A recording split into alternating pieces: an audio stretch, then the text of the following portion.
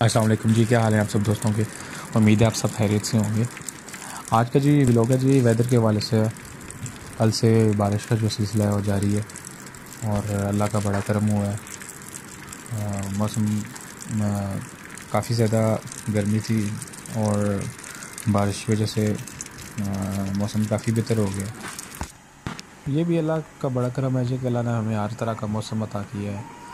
हमें अपने इस मुल्क, पाकिस्तान में हमें हर तरह का मौसम हमें मिलता है। मेरी इस वीडियो को आप लोग ज़रूर लाइक कीजिएगा और कमेंट में अपनी राय का इजहार कीजिएगा। ठीक और आपकी राय से हम मज़ीद आगे कोशिश करेंगे आपके लिए अच्छे से अच्छा कंटेंट लेके आए। और चैनल को सब्सक्राइब करना ना भूलिएगा। आप सबका शुक्रिया।